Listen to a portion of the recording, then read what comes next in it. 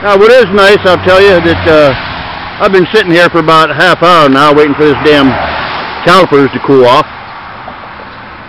Because when it uh, when it gets hot, they stick for some reason. I guess uh, Dennis is right. Rear calipers probably need rebuilt.